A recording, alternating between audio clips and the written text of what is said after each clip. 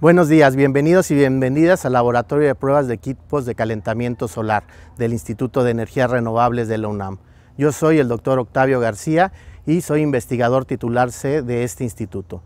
En esta práctica que vamos a hacer hoy veremos por un lado el funcionamiento de un sistema solar termosifónico que explicaré y posteriormente cómo se caracterizan estos sistemas para poder evaluar la energía que obtienen del sol a través del día y las pérdidas que tienen en la noche para poder evaluar su rendimiento y saber la cantidad de energía que nos pueden proveer y con eso la cantidad de gas LP que podemos ahorrar y las emisiones de CO2 que evitamos al ambiente. Entonces la primera explicación que voy a dar es este sistema termosifónico que vemos a mi lado esta es una tecnología de placa plana. Como podremos ver, lo que tenemos aquí es un colector solar que básicamente es un sistema que tiene tubos de cobre y aletas de cobre y tubos largueros también por donde pasa el agua y con el efecto del calentamiento del sol se calienta y se deposita en este tanque termo. ¿Cómo funciona este sistema? Si se dan cuenta no tiene ninguna bomba, no tiene ningún elemento eléctrico, trabaja por convección natural en lo que conocemos como efecto termosifónico. ¿Y cómo es este efecto termosifónico? Lo que sucede es que tenemos agua dentro de estos tubos que vemos aquí y en el momento que les da el sol sucede lo mismo que pasa con un globo aerostático. Cuando abrimos el gas y se calienta el aire, disminuye su densidad y va para arriba el globo, cuando quitamos el gas, se enfría el aire y va hacia abajo. Lo mismo sucede aquí con el agua. Lo que sucede es que se calienta el agua. Una vez que se calienta el agua por efecto del sol, esta agua va hacia la parte de arriba del tanque a través de esta conexión. Por la parte de arriba del colector sale y se conecta a la parte de arriba del tanque. Y el agua más fría que tenemos dentro de este tanque sale por la parte de abajo que tiene eh, mayor densidad y se conecta a la parte de abajo. Entonces está recirculando esta agua en la medida que hay sol, calentando el agua que pasa a través de los tubos y se almacena en este tanque. Este tanque es un tanque, en este caso de este sistema, de 150 litros y está muy bien aislado, de tal manera que estamos ganando energía durante el día, pero esta energía no se pierde en la noche ni en la tarde y podemos bañarnos también al día siguiente con agua caliente.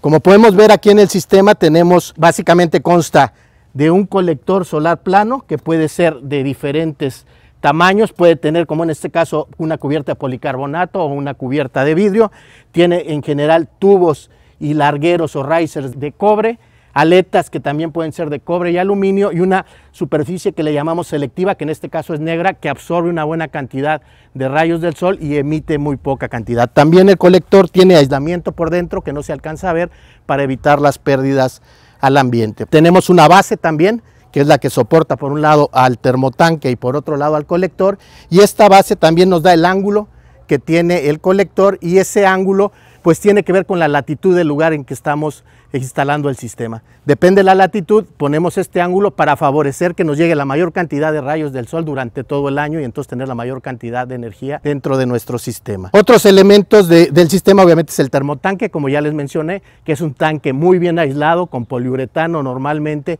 para evitar que tenga pérdidas, podamos tener el agua caliente aún después de 10 o 12 horas de nublado por la noche. Tenemos en este caso también unas válvulas eliminadoras de aire que se tienen que instalar. Una vez que se carga el sistema, tiene que sacar todo el aire y rellenarse completamente con agua para poderlo hacer.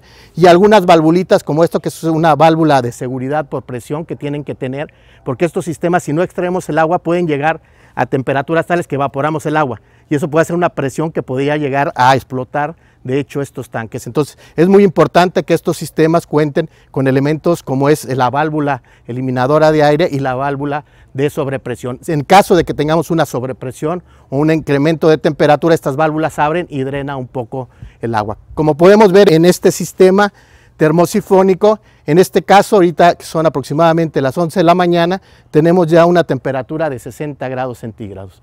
Nosotros en la regadera o el agua caliente que utilizamos en la vivienda, en general está entre 38 y 40 grados. Entonces necesitamos mezclar esta agua caliente con agua fría precisamente para el servicio. Estos sistemas típicamente van conectados en serie con nuestro boiler de gas, de tal manera que si un día está nublado, un par de días está nublado y no tenemos agua caliente en el sistema, de cualquier manera se calienta con el gas y el usuario final lo que ve son unos ahorros muy importantes en el consumo de gas LP y todo el tiempo tiene agua caliente para las necesidades. A continuación presentaré la otra tecnología también de sistemas solares termosifónicos que es la tecnología de tubos evacuados. El principio de operación es exactamente el mismo que en los colectores solares planos. Tenemos un termotanque que va en la parte de arriba del sistema y unos tubos evacuados que pueden ser de dos formas. Un tubo evacuado que le llamamos atmosféricos, donde directamente dentro de estos tubos está el agua que se va a calentar y con el mismo principio que ya explicamos, el principio termosifónico, se calienta el agua que está dentro de los tubos, al disminuir su densidad, sube a la parte de arriba del tanque y la parte de abajo del tanque que tiene agua más fría se va hacia los tubos. Esto hace un proceso de recirculación sin necesidad de una bomba y lo que estamos obteniendo al final de cuentas es agua caliente dentro de este tanque termo que al igual que en el caso del colector solar prano es un tanque donde tenemos el agua y está muy bien aislado para poder conservar durante la noche o en días nublados esa temperatura y poderla utilizar nosotros el agua caliente. La otra tecnología de tubos evacuados también que mencionamos se le llama tubos evacuados con tubos de calor. Es exactamente igual, se ven por fuera, no se distinguen. La diferencia es que tienen un tubo metálico acá con un fluido que normalmente es acetona y unos bulbos, unos tubitos que van dentro del tanque y aquí lo que sucede es que con los rayos del sol la acetona se evapora. Al evaporarse la parte del gas va hacia la parte de arriba, este bulbo está en contacto con el agua fría del tanque se condensa y hay un fenómeno entonces de condensación y evaporación, con lo cual calentamos el agua caliente. Estas dos tecnologías conviven, la de tubos evacuados es bastante más confiable la de tubos de calor porque en caso de que hay una rotura de un vidrio de estos se va todo el agua en el que no tiene tubos de calor, mientras que en el tubo de calor si hay una rotura o algo no tenemos problema de fugas. Entonces, el tubo de calor, básicamente, como vemos, es lo mismo, un tanque termo. En vez de tener el colector plano, tenemos N tubitos, dependiendo de la capacidad de nuestros sistemas. Y cada uno de estos tubos ya sea tiene agua por dentro para calentarla o enfriarla, o tiene un tubo de calor que es el que transfiere la energía solar al agua que está dentro del tanque. Con esto terminamos la explicación del funcionamiento de los sistemas solares termosifónicos, tanto de colectores solares planos como de tubos evacuados y a continuación lo que haremos será la evaluación de estos sistemas para poder encontrar sus curvas características tanto de la energía que podemos obtener para condiciones específicas del sol a estos sistemas como las pérdidas que tienen durante la noche. Estas dos curvas nos permitirá poder evaluar este sistema que ahorros puede tener para una vivienda en cualquier lugar del mundo y en cualquier época del año. Muy buenos días, mi nombre es Víctor Hugo Gómez Espinosa y soy técnico académico titular C de tiempo completo aquí en el Instituto de Energías Renovables de la UNAM. Estamos aquí en una sección del Laboratorio de Pruebas de Equipos de Calentamiento Solar, la PECAS, donde hacemos la evaluación térmica de sistemas de calentamiento solar tipo termosifónicos. A continuación les voy a mostrar cómo se desarrolla la prueba. Básicamente el objetivo de esta prueba es encontrar la energía que se obtiene en el día del sistema, que se obtiene, y las pérdidas que también tiene el sistema nocturnas. Así vamos a tener la ganancia y las pérdidas de energía. Básicamente lo primero que se tiene que hacer es medir el área de apertura del colector. Para medir el área de apertura del colector utilizamos el flexómetro y vamos a medir el ancho del colector, pero únicamente de la zona del área donde pasa la radiación solar, no de los bordes, sino únicamente la parte interna. En este caso, este colector es 94 centímetros. Posteriormente medimos también la longitud, igualmente por la parte interna del área del colector y tenemos que para este caso es 1,94 metros de longitud. Haciendo el producto del ancho por el largo, obtenemos el área de apertura. Otro dato que necesitamos es el volumen de agua que tiene el termotanque del sistema. En este caso, este sistema es de 150 litros de agua. Conociendo estos datos, podemos ya describir ya, iniciar el proceso de evaluación. El proceso de evaluación consiste en obtener 10 puntos para obtener la curva característica, la ecuación característica diurna. ¿Cómo sacamos estos puntos? Básicamente lo que hacemos es conocido que estos sistemas pueden alcanzar temperaturas de hasta 70, 80 grados. Hay una norma que nos dice cómo hacer estas pruebas. Básicamente estos 10 puntos deben ser distribuidos a lo largo del eje de las X para obtener en el eje Y precisamente rendimiento térmico. La norma en la que nos vamos a basar es una norma mexicana que es la NMX ES 004 es de Normex y se publicó en el año 2010. Básicamente, el primer punto comienza fijando una temperatura en el tanque por debajo del ambiente. Generalmente, aquí en las pruebas de laboratorio la fijamos en 20 grados y ese va a ser nuestro primer punto. La norma nos dice que para sacar el primer punto debemos de iniciar 4 horas antes del mediodía solar, considerando en este horario que el mediodía solar para esta época del año es a las 12.22 del día, con 22 minutos, menos 4 horas, estamos diciendo que a las 8.22 sería nuestro inicio de la prueba. Entonces ya tenemos nuestra temperatura de 20 grados y comenzamos a echar a andar nuestro programa de adquisición de datos, que es básicamente donde se registran todas las variables involucradas para evaluación. Comienza a correr el tiempo y transcurridas 8 horas vamos a hacer un mezclado para tener la temperatura promedio dentro del termotanque. Al inicio se hace un mezclado a las 8.22 de la mañana, Transcurridas 8 horas, que serían aproximadamente las 4.22 de la tarde, se hace otro mezclado para tener las temperaturas inicial y final y con eso completamos el primer punto diurno. Para sacar los puntos nocturnos, lo que hacemos es ese punto a cómo quedó a las 8 horas va a ser nuestro inicial de la prueba nocturna. La prueba nocturna dura 15 horas.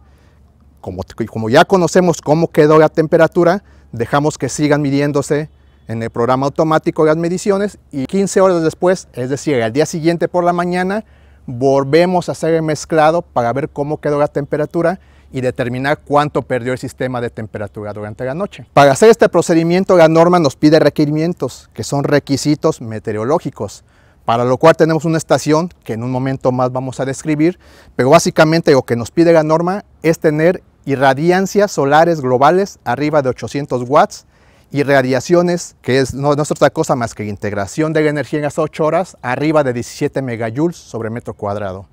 También nos dice que para que sean válidos estos puntos que vamos a sacar, la velocidad del viento no debe ser mayor a 3 metros por segundo, y también nos pide que la temperatura ambiente sea arriba de 10 grados centígrados para que sea válido. Entonces, así como les describí que sacamos el primer punto, vamos a sacar otros 9 puntos para completar los 10 que nos pide la norma para sacar la ecuación. Los sucesivos puntos vamos a ir incrementando la temperatura para tener precisamente todas las temperaturas en el dominio de operación del sistema.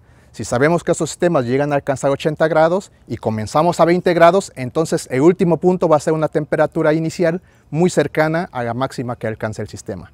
Entonces ya con eso vamos a tener 10 puntos distribuidos diurnos y vamos a tener 10 puntos distribuidos nocturnos. Con eso vamos a proceder a obtener las curvas de rendimiento térmico del sistema. Como habíamos mencionado, para realizar esta prueba la norma pide ciertos requisitos en cuanto a calidad de medición, para lo cual aquí en el caso del laboratorio de APECAS contamos con una estación meteorológica muy completa donde podemos medir la temperatura ambiente, la velocidad del viento, la precipitación de lluvia, entre otras variables ¿no? necesarias. Y también contamos con un piranómetro clase 1 para poder medir la radiación y después integrar y obtener la irradiancia global. Con esto podemos hacer ya sacar las curvas de rendimiento diurna y la curva de pérdidas nocturnas que nos pide la norma. Bueno, a continuación les muestro aquí tenemos lo que es el sistema automático de registro y almacenamiento de datos. Aquí lo que hacemos, registramos toda la información obtenida tanto de la estación meteorológica como las variables térmicas del sistema de calentamiento solar. Como vimos, se tiene que hacer 10 puntos, lo que implica 10 días de estar registrando datos.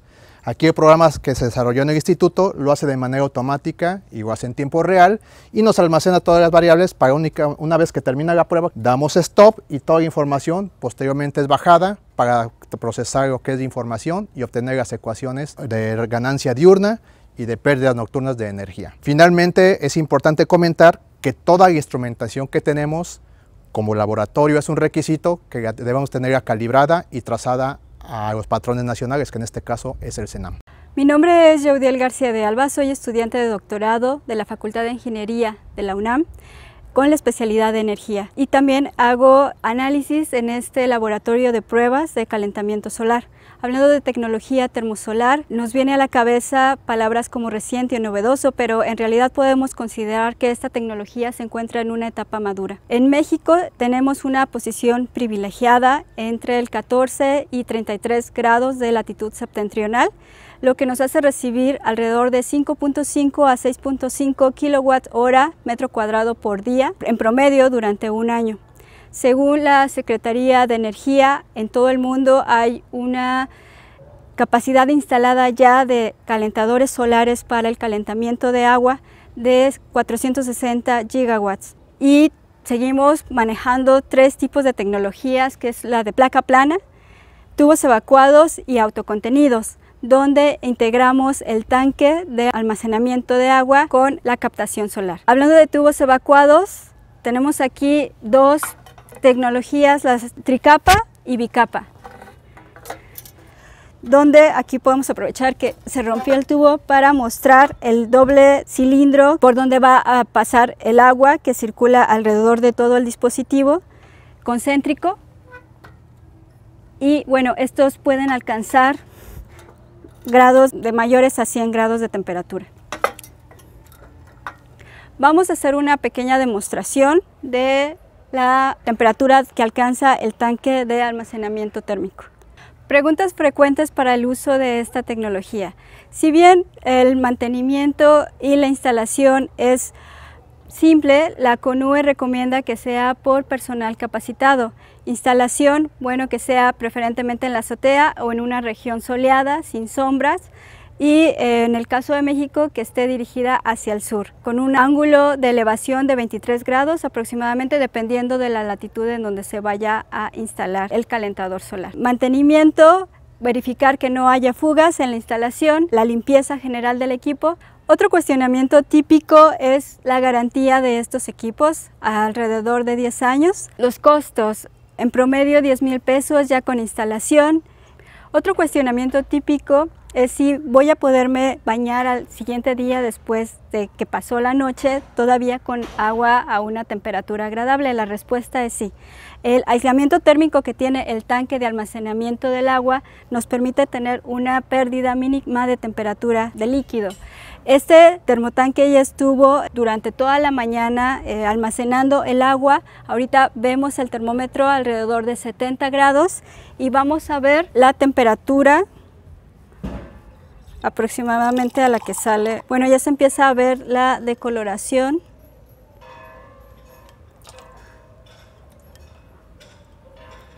Y un poco el vapor del agua caliente.